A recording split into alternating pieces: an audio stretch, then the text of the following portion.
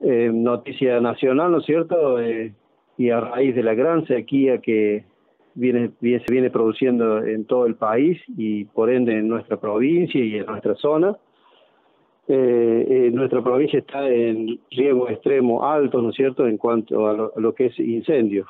Y de hecho, eh, nuestra jurisdicción, eh, lo que pertenece a la, regional número 3, sí. estamos en, en, riesgo, digamos, extremo y bueno, y con salidas permanentes eh, todos los días. Sí, la verdad que estaba viendo, bueno, lo que ha sido el fin de semana, no solamente en nuestra zona, la provincia, sino también se ha sumado lo que es el departamento Roca y también esa Espeña. No, no, sí, en, el riesgo está en toda la provincia. De hecho, todos los cuarteles están en, en, zona roja, digamos, eh, atentos a que en cualquier momento seamos convocados. Pero bueno, eh, cada cual se está manejando para poder tener el personal atento a, cada jurisdicción.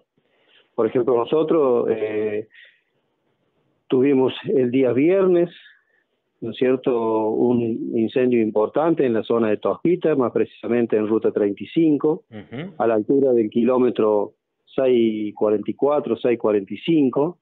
Eh, comienza ahí en la parte de préstamo o banquina, del lado oeste de la ruta 35 y en la cual ingresa al campo ahí del señor Marcos y bueno, se nos produjo un incendio de, magnitud, un incendio ya totalmente declarado y bueno, se concurrió con, con cuatro dotaciones, eso fue a la hora 14, 15 más o menos del día viernes 21, ¿no es cierto? Sí, sí. Se concurre con cuatro dotaciones más el apoyo de cuatro tractores que se pudieron juntar ahí de la zona, tanto del propietario de campo como de los vecinos de, del señor Marcos, con doble acción y palas de arrastre, y el apoyo de eh, el camión cisterna de la municipalidad de Tosquita.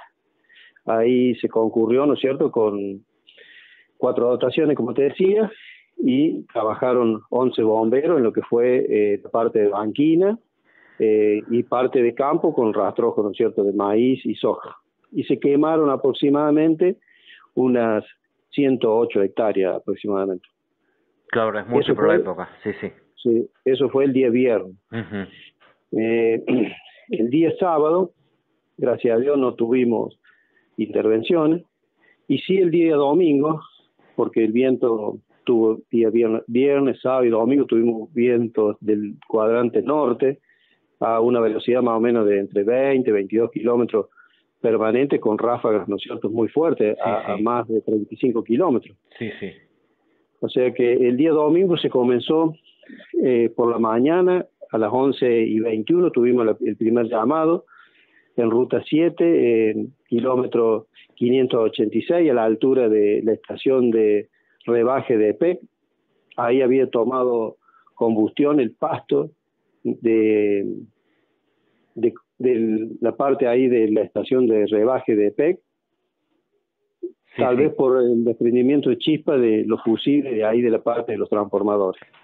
Pero bueno, gracias a Dios fue, fue pequeño, se concurrió con una dotación, con cuatro bomberos, y se regresó enseguida, o sea, antes de 12 ya la dotación había vuelto.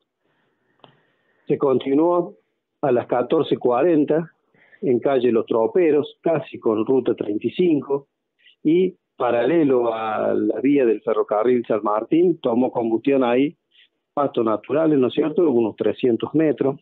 También se concurre con una dotación y cuatro bomberos. Y eh, se hace igual ese porque se, ahí tomó combustión muchos muchos árboles y raíces de, árboles caídos porque están haciendo limpieza ahí eh, en la parte de la vía y se finalizó eh, el domingo en ruta 35, siendo la hora 22.50, en ruta 35, kilómetros 608, eso es como para el lado del río Quinto, ¿no es cierto?, para que la gente se ubique. Se había cortado un cable de la cooperativa y bueno, eh, tomó combustión un rastrojo ahí de maíz, pero bueno, no fue de, importancia. Es, concurrieron dos dotaciones, pero eh, fue poco la, labor, digamos. Pero sí, estamos en, alerta roja nosotros, eh, a la espera, ¿no es cierto?, de que ojalá la gente tome conciencia y que, bueno, que sean los incendios provocados así por, por accidentes, como el caso de, de rotura de cable o, o saltadura de algo posible. Claro, eh, eh, Chelo, bueno, por último, eh, todavía no hay ninguna convocatoria, están aguardando esto, y cuáles serían las últimas noticias en lo que respecta a la provincia, estaba viendo, bueno, que especialmente lo que es la, la zona así de la, algún lugarcito de la sierra, como por ejemplo Capilla del Monte, también está complicado. No, sí, la provincia eh, está teniendo el incendio más importante de los últimos 12 años. Sí, sí. ¿sí? Esto se debe a la gran sequía que tiene nuestro país. Y bueno, hay un incendio eh, descontrolado en la parte de las sierras allí en la Punilla, que es la parte, digamos, de Capilla del Monte y Cruz del Eje, y otro en la parte de mm, aquí de Coquín, y está yendo ahora hacia el sector de la calera ahí en Córdoba. Esos son los dos focos más importantes que hay en estos momentos, ¿no es cierto? Como, como habrá en alguna otra parte de nuestra región que, que seguramente han tenido alguna otra salida, pero la provincia está concentrada ahí.